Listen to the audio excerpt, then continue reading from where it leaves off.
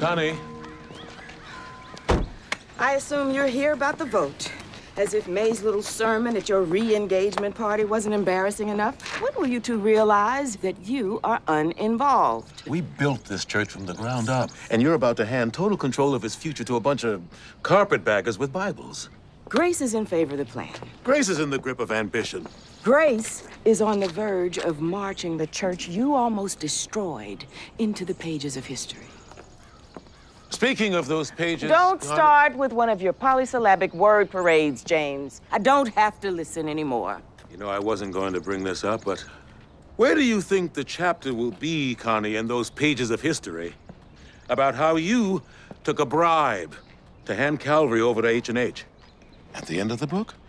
Or will it have its own little pamphlet? You can't seem to accept it, can you? That reasonable people looked on your works and found them wanting. Oh no, you want to make it some big conspiracy. Not a big one. Just one fat check. Written on April 2nd from a Harmony and Hope business account. Deposited on April 5th into your account at the Church Credit Union. Then paid out the very next day to your daughter, whom I assume is holding it for you until, all this blows over and anyone who could have known is gone. I am not going to dignify this madness with a denial.